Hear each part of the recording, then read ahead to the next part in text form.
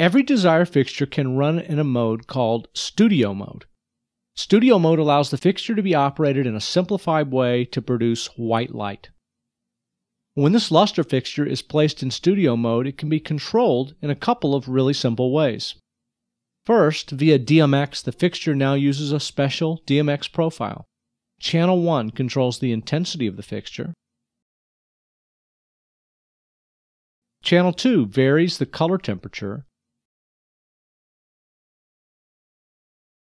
And channel 3 controls the tint from a neutral value at 50%, the tint can be forced towards green or magenta to match other light sources.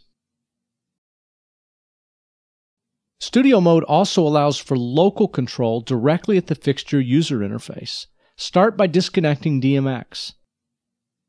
Now using the buttons on the back of the fixture, you can use the up and down arrow to control intensity.